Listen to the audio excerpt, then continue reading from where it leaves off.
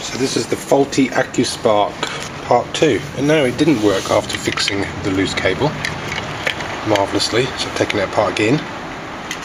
What I have noticed obviously it's a stupid chrome version which has a conductive plastic casing. Underneath this board is actually an insulating piece of film which appears to be intact with no holes. But on the outer cover there are burn marks. I don't know if you can make them out. These correspond to this xenon thing. But in normal position it shouldn't touch the other casing.